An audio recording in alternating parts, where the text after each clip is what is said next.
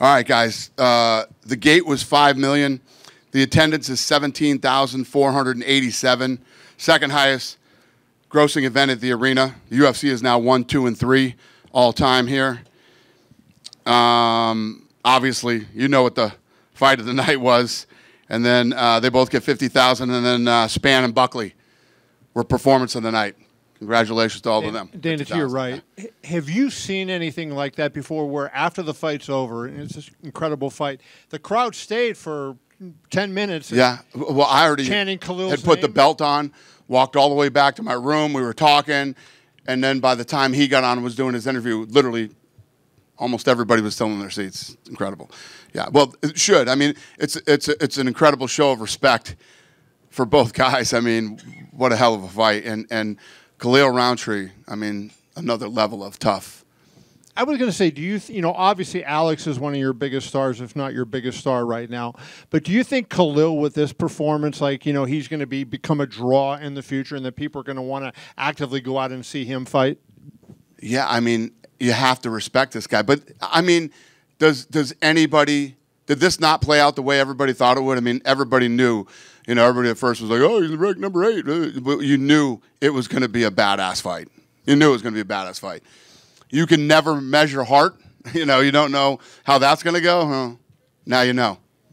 In the uh, th- third round and maybe in the into the fourth round, there Alex's jab really started to, uh, to pick up. And did you feel like when he was landing that jab and the one-two that that was really the difference in the fight, where Khalil maybe wasn't able to breathe after that? I felt like the difference was the low leg kick. And when he started calf kicking him, uh, he was destroying that leg, and, and he was having trouble putting pressure on it, and he was having trouble with his punching power, his movement, everything. And he systematically just started picking him apart. Um, you know, and, and he said, when I watched the feature, he said, listen, this guy hits hard. He's tough. He's this, he's that. And this guy has a dream. But my fight IQ will win this fight. He said that in, in his in his in, uh, in, in the combo feature, and that's exactly the way it played out. two other questions for me. One, one, um, you know, you were so high on Anderson Silva during his run. Alex has lost to uh, Israel, but he, he's beaten probably a better quality of opponent than Anderson did in that in that run, especially in the first part of that run. Uh, how do you think this run of Alex's compares to what Anderson did at that point? There's no doubt what this guy has done is unbelievable. Not not just in if you want to compare, and the way he's done it, the way he's done it. I mean, this guy destroys everybody. And then the last question: What did you think of the judging in the uh, in the uh, co-main event? I mean, it seemed to me. I thought your judging tonight was atrocious. I felt like I was in a, at a boxing match in Ireland tonight. You know, right here. Uh, Yeah. Obviously, uh, one of the, appe- the the appeals of Alex is he fights pretty regularly, like almost like he's like 300, 303, and now Salt Lake. After a fight like this, at some point, I know you like fighters that are active, but do you just kind of have to tell him to like maybe pump the brakes for a little bit, especially after a fight like this? Yeah, I, I don't know. I don't know what this guy. I mean, this guy always wants to fight. He's 38 too. It's not like he's 28 and he's got this many fights. And but I don't know. I don't know. We'll see how it all plays out. And I know you just said the judges were atrocious, but what did you make of the Mario Bautista Jose Aldo fight? I thought the judging was atrocious tonight. I'll just leave it at that. It was it was atrocious. Um, Kayla Harrison, uh, obviously, a lot of people thought she would kind of run through her opponents when she came to the UFC. Had a hard fought decision win over Ketlen. What did you make of her performance? And then obviously, you showed her on the split screen when Julianna was getting the, the belt wrapped around her waist. Yeah, it's uh, you know when you when you get here, and I say it all the time, when you start to break into the top five, the top three, gets tougher, you know. And and, and Julianna and and uh, Raquel are both dogs. I mean, they're dogs, so it should be fun. And Kayla did a lot of she, she carried a lot of the promotion for this fight specifically, even in kind of the event. I mean, she drew a lot of numbers on social and media day. And if you kind of compare it to like Michael Chandler, MVP, even Ben Askren when they all came over, like they just kind of hit the ground running. Promoting wise, like Mm-hmm. they want to do all of the appearances, they carry the pressers. Is, is that them turning it on when they get to the UFC, or do you recognize this before? And No, I don't I don't know if it's turning it on, but it's just another level when you get here. They feel it, you know. You, you feel it. You fucking rot away in the PFL for years or the fucking Bellator and shit, and then you finally get here. You feel it.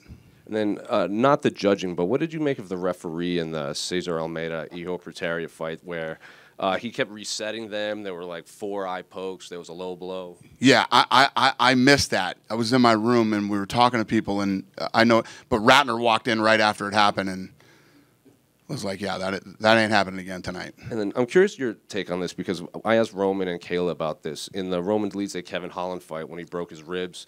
Kevin's coach was asking him like, "Do you want to continue? Do you want to continue?" And the commentary felt it should be on the coach to make that call because fighters are going to want to fight through it, and it might not look good because they might not want to fight, but they don't want to be the ones to throw in the towels, and it should be the coaches that throw that decide their fighter shouldn't fight. What do you think? I don't know. I don't know the story. I don't know what happened. I I, I'm, I I didn't hear it, and I don't know what happened. But it looks, looks like he broke his ribs on like turning, and then when he stood up, he was like, "I, I broke my ribs." I don't know if he broke or popped a rib. I don't know if we know. Uh, let me see if I got that information here.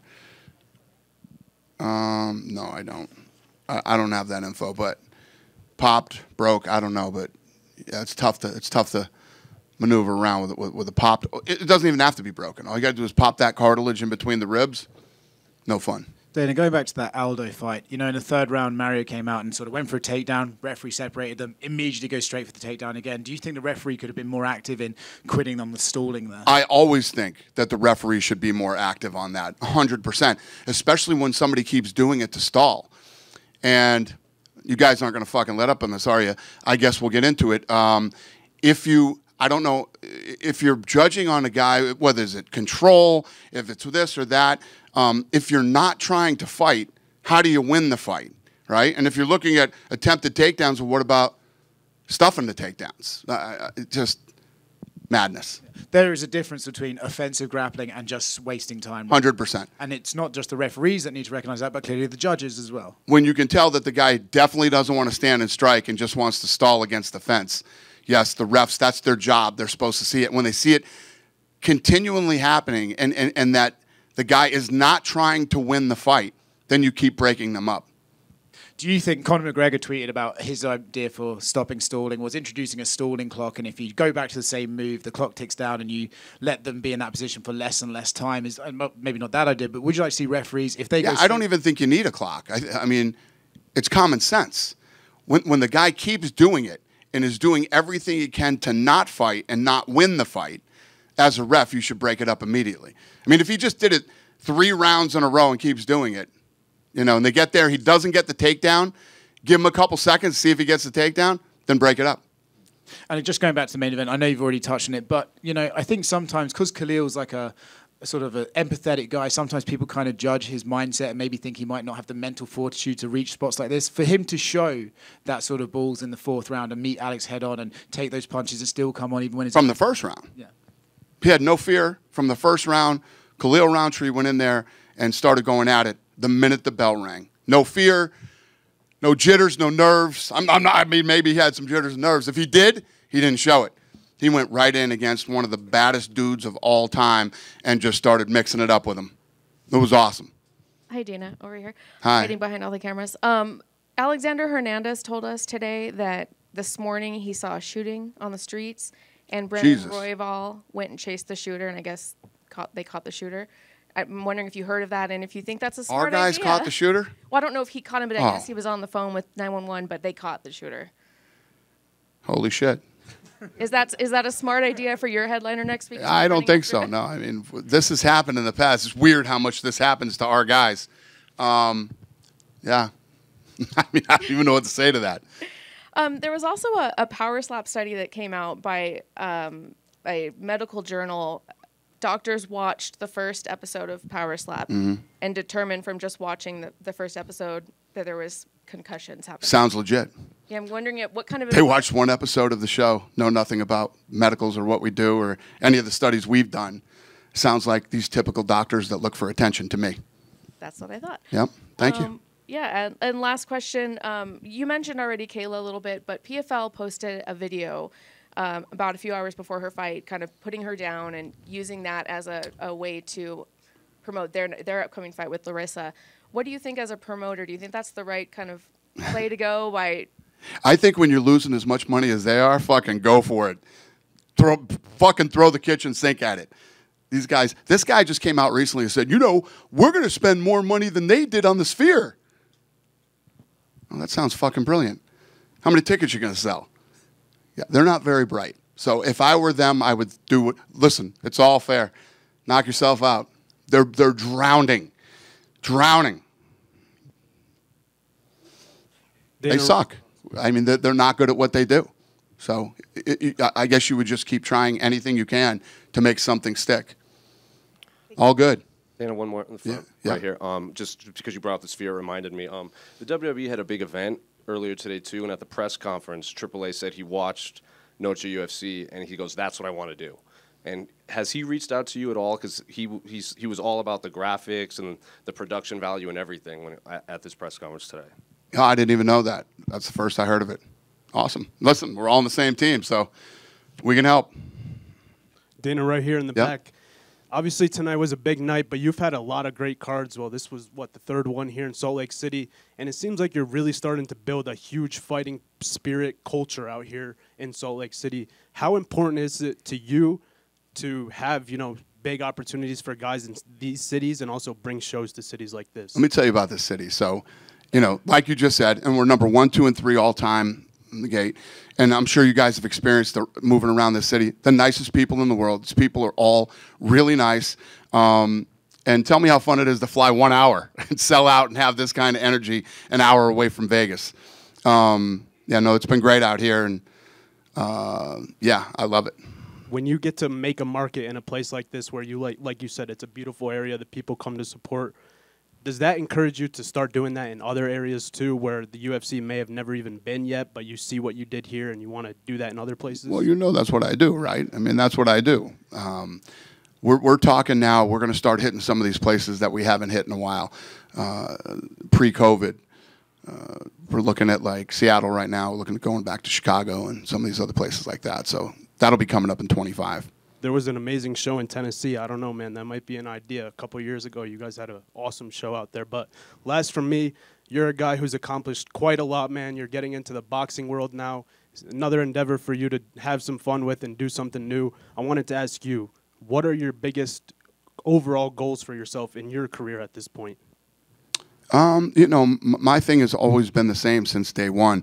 I want to continue to grow the sport. I want to continue, like you said, to go into markets that we've never uh, been to. I want to continue to invest in the sport. Um, you know, like the PI in Mexico and many other I- ideas that I've had for the last several years. So, I'm just going to keep doing that. And also, I see your knuckles, man. You've been training. You've been hitting some pads. No, do they look uh, busted? Oh, Jesus Christ! No, that's from uh, that's from um, Khalil. Oh, okay. Yeah, yeah. I didn't even see that. It's definitely not for me. I've been cold plunging, not hitting anything. Believe me, Thank you. I'm too old to be hitting anything. Dana, right over here. Yeah. Just talking a little bit about Utah, the main staple of this entire state is Court McGee. He's been in the UFC now for 14 years, gets Right. the win tonight. How much has he meant to the UFC and also just building the sport of MMA in Utah specifically? Well, all these guys do. I mean, all of them do. But but Court's, uh, you know, obviously a a special guy with with with, a, with an incredible story. And um, you know, I I saw him when he came out tonight. Came out of the octagon and just couldn't be a nicer human being. And I'm I'm really happy for him and his family. You guys done with me? over here, just Hey? kind of following up on that a little bit with, with just the way that you the events in Utah like this continue to build on themselves. What is it in the water where it feels like? I mean, it started with an incredible kick and then a backflip, and then obviously that masterpiece out there. Like, what is it about this state? Do you think where where UFC just kind of builds year after year on itself? What's the question? Just why why do you it? Why do you think it just gets better and better every year here in Utah? Well, I'll tell you this: the, the the sport is incredible, right? And the live event is amazing. Nobody leaves one of these live events and goes, "Yeah, I don't ever want to do one of these again." So every time we come, you have to assume that new people are experiencing it for the first time. Um, somebody who's experienced it many times will bring somebody new, and I mean that's how we've grown for the last almost 25 years. That that's literally the formula. I hope I answered your question. no, perfect. Thank you. Done with me? Yeah? Have a great night, you guys. Thanks.